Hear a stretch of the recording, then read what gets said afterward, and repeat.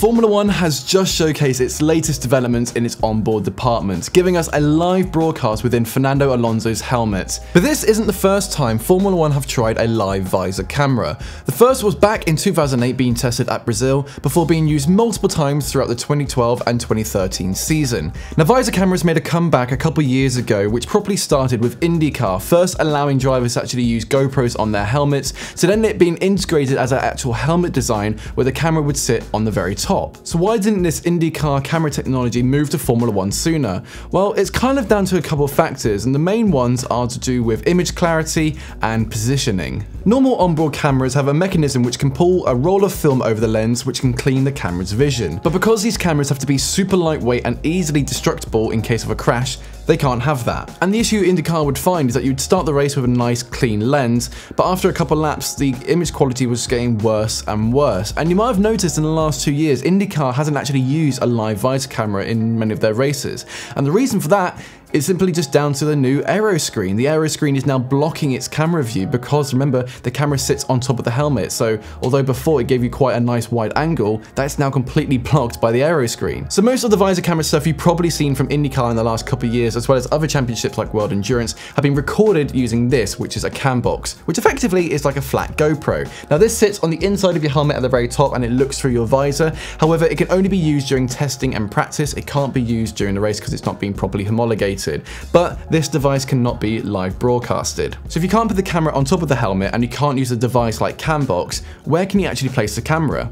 Now this is where Formula E and Bell helmets come into the conversation. For the last two years, Formula E has been working with Bell Racing to get this tech to work, and it's the exact same that Formula One just produced. In this series, it's called Driver's Eye, and it has an 8mm camera that sits on either the left or right hand side of the helmet, and together with its lens and image sensor board, it only weighs 2.5 grams. It's positioned inside the helmet with enforced padding directly next to the driver's eye. You can now see where the name comes from, and it's the smallest camera currently used in motorsport. Now, I'm not going to sit here and tell you that from the beginning it looked really good because it really, really didn't. To begin with, the video signal and color was really poor, the highlights were so bright that you couldn't make out any of the sky, and the angles weren't aligned properly. But because this camera technology was being broadcasted at each race, we can now actually go back and see the quality increasing each time and seeing those small little corrections and basically becoming a perfect testing bed for this. Now, all of this tech isn't coming from Formula E, nor is it coming from Formula One. It's actually coming from a company called Zero Noise, which is the electrical division part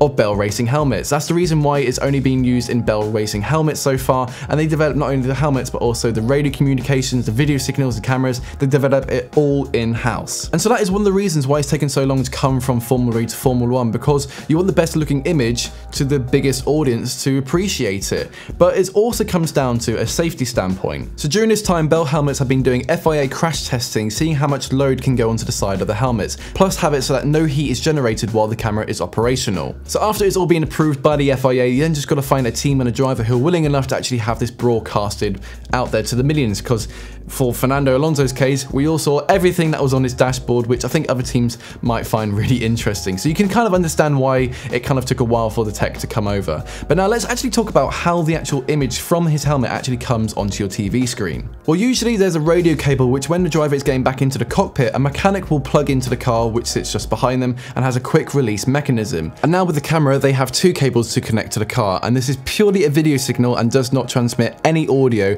as there's no microphone in the helmet. All of that audio is taken from the microphones installed on the car already for the existing onboards. Once connected to the multi-core cable which carries both the audio and visual, it goes up to the top of the roll hoop where the T camera sits and inside is the antenna which sends out the live feed. Now different broadcasters and series use different ways to transmit feeds but in Formula 1 they use a 10 GHz Wi-Fi based system which has an incredible quality but has quite a short range. So effectively you need to have loads of antenna kits dotted all around the track so that at any one time one antenna is always collecting a signal from a car. Now earlier I mentioned that we've been able to see the clear improvements in Formula E with this tech, and this includes having full telemetry control over the image. So this means you can fix the camera's iris and its focus, it means you can also control the electric shutter and its color control, and the main reason for the color control is many drivers like myself have a tinted visor, and if I was to shine a camera just through here, everything would look a bit blue and green, so you need a color control to counterbalance that so everything looks normal to the viewer. And the last thing about this camera is that it's shooting at 1080 resolution at 50 frames per second. And the reason it's at 50 frames per second is because of how